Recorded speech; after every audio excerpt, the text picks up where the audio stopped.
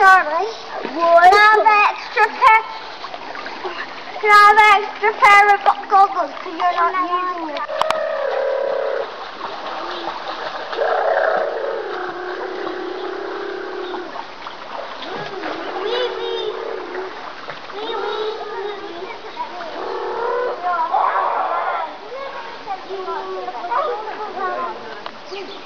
Well, that's great.